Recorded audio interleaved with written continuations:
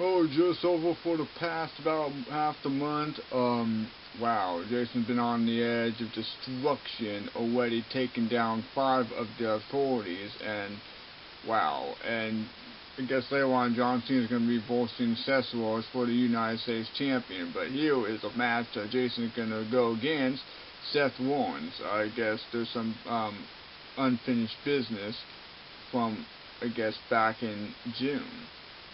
Oh, actually back in May, actually. So, this is going to be intense.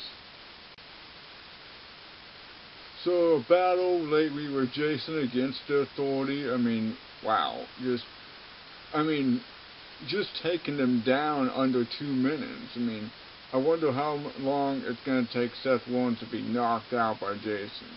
Maybe Seth might actually pull this off and beat him. I mean, Jason's already on five against zero against him, so obviously Jason's really in for a destruction.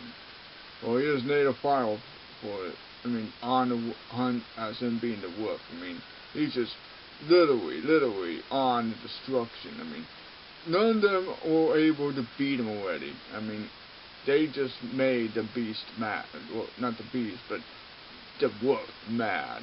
I mean, just on the destruction.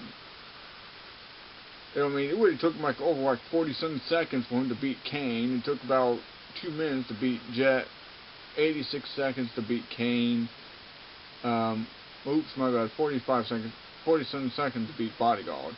Or beat Kane 86 seconds. Joey Mercury 85 by choking Jamie 68 seconds. Wonder how long it's going to take him to beat um, Seth Rollins. I really don't know. I mean, wow.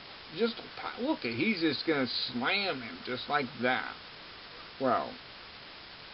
And just beat him about a minute and one second. Wow. Wow. Gotta be embarrassing. I mean, especially Jamie Noble getting 68 seconds, but wow. Being the shortest, second shortest out of Bodyguard. I mean, it's even more embarrassing for Bodyguard to even be beaten by 47 seconds against Jason. But even 61 seconds against Seth Rollins, I mean, Seth literally was in trouble.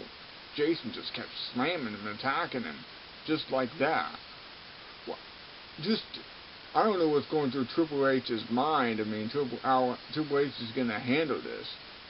What he's got to do something, because Jason's on for destruction. Big time. Well, he's probably got some in plan up. I mean, I guess Jason might take a little break for a while after all the destructions. He's, I think he's just making a point, trying to tell them that they mess with him, he will destroy. And I guess he's already proven that.